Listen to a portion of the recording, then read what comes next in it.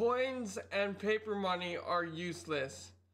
Just because we put a, a number on a certain piece of paper doesn't mean it's mean it doesn't mean it anything.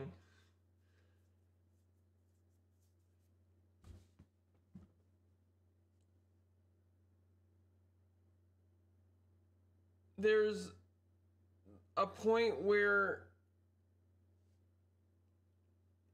you have to get into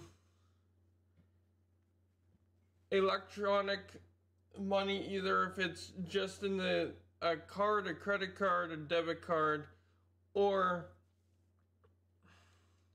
or um, crypto and Ethereum. This means nothing. Paper money means nothing. Just because we put a stupid number on a stupid piece of plastic paper, it's a social construct.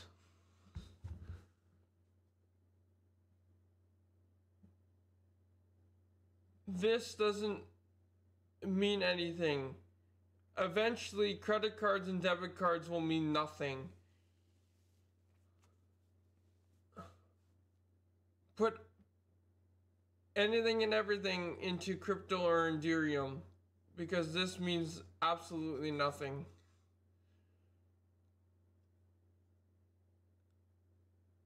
The the whether or not dollars or pounds are are printed up every single day the the number on it doesn't make it rare it's it, they print the same amount of each every single day.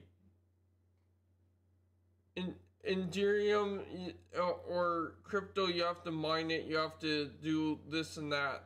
So it means more than this.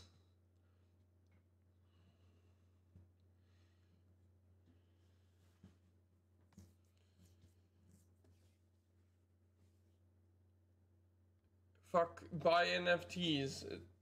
Not that I'm too into NFTs, but go right ahead.